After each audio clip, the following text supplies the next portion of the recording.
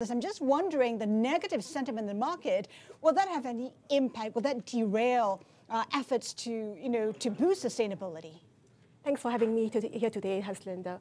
Well, it's uh, certainly an interesting time for all of us here, and uh, I think the impact of climate change will remain to be critical, regardless of uh, health crisis and regardless of what's going around the world in the financial markets. It is real. It is going to impact us in the long run. So at SP Group, we are staying ahead of the curve and coming up with new solutions that would enable our customers to lead a low carbon lifestyle. But you know, earlier we talked about Singapore's efforts wanting to halve uh, its emissions by 2050. How does it get there? Right now, it is an uphill task. Definitely. I think everybody has to do their part in the climate change, uh, in combating and reducing our carbon emissions. So at SP Group, we are rolling out a couple of initiatives in which we want to enable our customers, be it on district level, corporates, uh, individuals and households, to enable them to take stock on what they can do for meeting uh, our climate change targets. So let me give you a couple of examples. Um, for individuals, we are rolling out a carbon footprint tracker that enables our customers to take stock on what their carbon emissions are and to do something about it. And that to us is important because we believe that awareness is the first step to making behavioral change. Um, another uh, solution that we are coming up with and we have launched actually is a blockchain-based platform for renewable energy certificates. And this allows our corporate customers to be able to support renewable energy uh, projects um, anywhere in the world and be able to meet their green targets. And these are solutions in which we're rolling out for everybody, uh, be it our corporate customers or individual households, to get on this path to lower carbon emissions. Um, I believe it was Singapore's first president who nominated the air conditioner as the most important invention of the 20th century. Um, so, with a country so reliant on air conditioning, how do you make that carbon neutral? Well, it's certainly a challenge for us here in Singapore, being a tropical country. And on the district level, you know, we have a solution called district cooling, in which uh, we think it is fundamentally to helping uh, our country lower our carbon emissions. So how this works is that for every building, instead of them having individual chillers, we're able to group the chillers and uh, using centralized chillers that buildings can share to be able to derive economies of scale and therefore energy savings.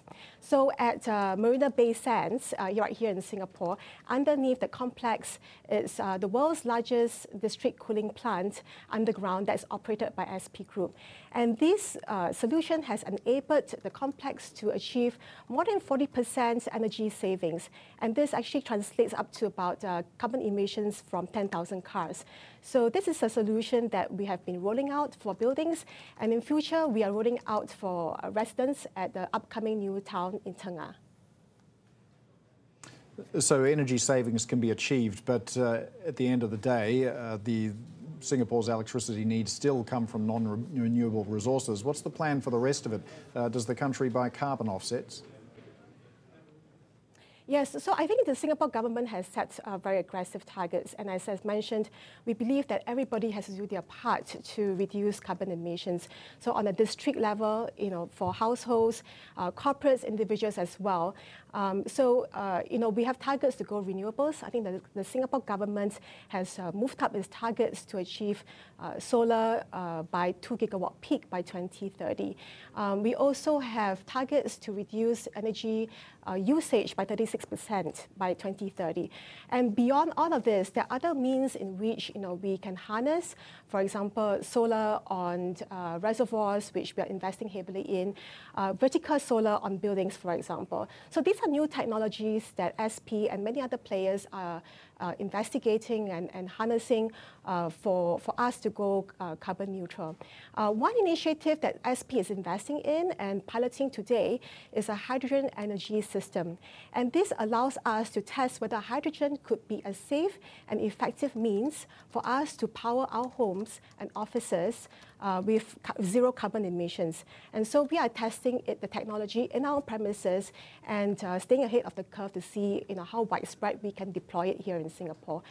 Beyond that, there are tools that the, the, the government uh, and Singapore can harness, for example, carbon offsets, which we would be using to support uh, projects uh, overseas and here in Singapore, um, so that beyond our limited land space, we can deploy carbon offsets and even renewable energy certificates to meet our targets.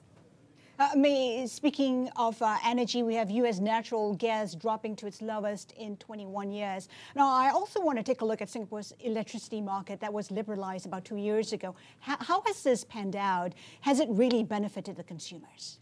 Well, I think the benefit is that everybody now has a choice of whom they want to buy electricity from. Uh, you know, you now have a choice to buy from different suppliers.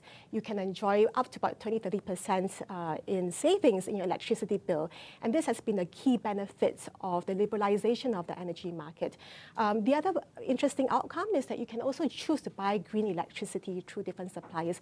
So I think this benefits us uh, as electricity consumers in the long run in meeting our green targets as well.